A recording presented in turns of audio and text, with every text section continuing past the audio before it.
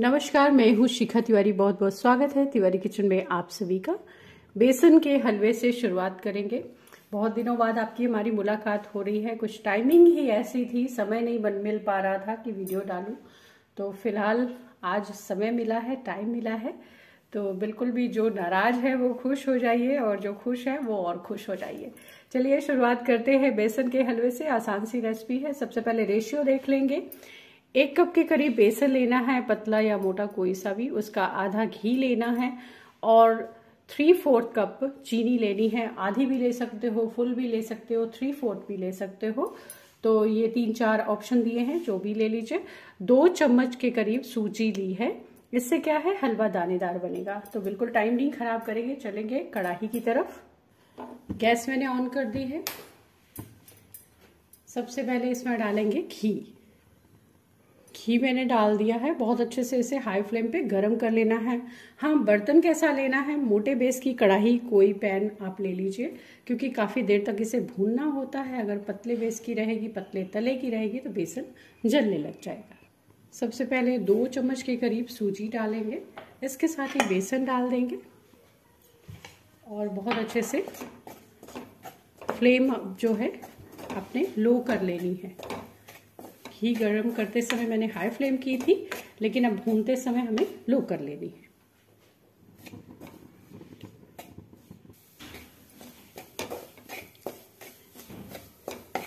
बेसन को हमें इतना ही भूनना है ताकि इसका कलर चेंज हो जाए। हल्का चेंज करना है, बहुत गहरा वाला चेंज नहीं कर देना है, नहीं तो जल जाएगा।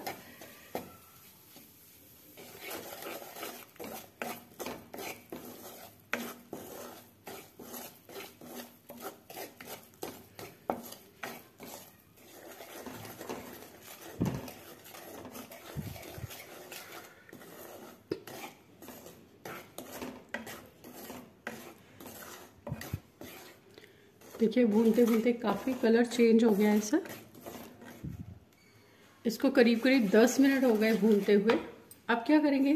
चीनी डाल देंगे और फ्लेम अभी भी लो ही रखनी है आपने।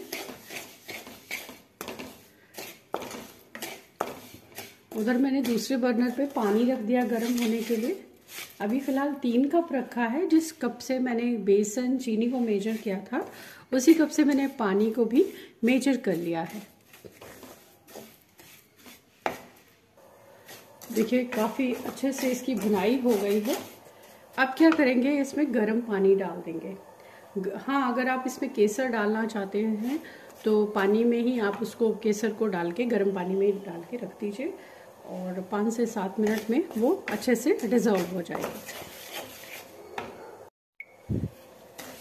देखिए, काफ़ी अच्छे से भुनाई हो गई है। इधर पानी भी गर्म हो गया है।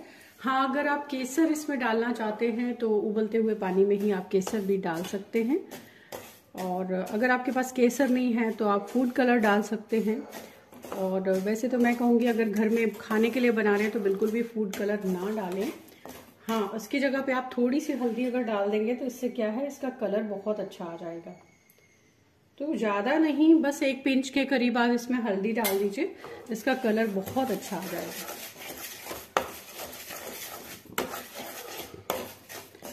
अब क्या करेंगे, इसमें थोड़ा थोड़ा पानी डालेंगे। और फ्लेम को कर लेना है हाई। एकदम से नहीं डालना है थोड़ा थोड़ा डालना है। फ्लेम हाई रखनी है, क्योंकि इस टाइप पे हम पानी मिला रहे हैं तो फ्लेम ज़्यादा होनी चाहिए।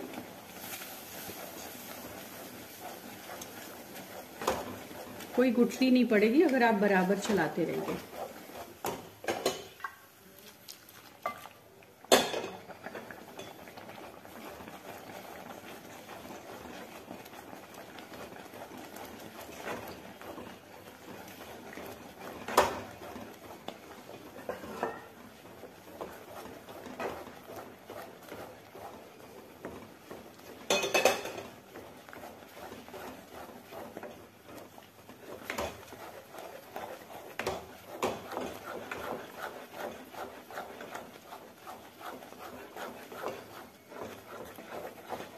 हाई फ्लेम ही रखनी है इसको।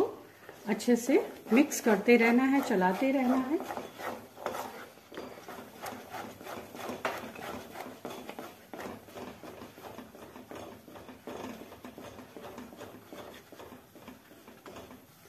इसमें मैंने ढाई कप के करीब पानी डाला है।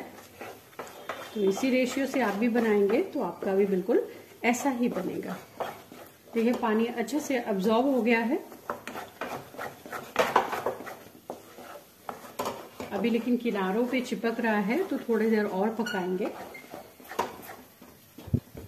अब क्या करेंगे? थोड़ा सा ऊपर से घी डाल देंगे। ये जमा हुआ घी है। खाने वाली जो स्पून होती है ना, वो हीप्ड स्पून है। है लेकिन जमा हुआ। इसको भी मिक्स कर देंगे। इससे क्या शाइन आ जाएगी? थोड़ा देखने में सुंदर लगता है। अगर आप घी नहीं भी डालेंगे ज़्यादा ऊपर से तो कोई इससे फ़र्क नहीं पड़ेगा। टेस्ट में कोई फ़र्क नहीं पड़ेगा। क्योंकि घर में बहुत तरह के लोग होते हैं, बच्चे भी होते हैं, बुज़ुर्ग भी होते हैं तो बुज़ुर्ग इतना घी खाएँगे तो उनकी हेल्थ ख़राब हो जाएगी। तो इस चीज़ का चीज़ का आपने ध्यान रखना है। तो बस देखिए, घी डाल दिया और बेसन ने कढ़ाई अच्छे से छोड़ दी है, अच्छे से यानी क्लीन हो गई है। तो अब क्या करेंगे, गैस को बंद कर देंगे। तो लीजिए बेसन का हलवा बिल्कुल रेडी है।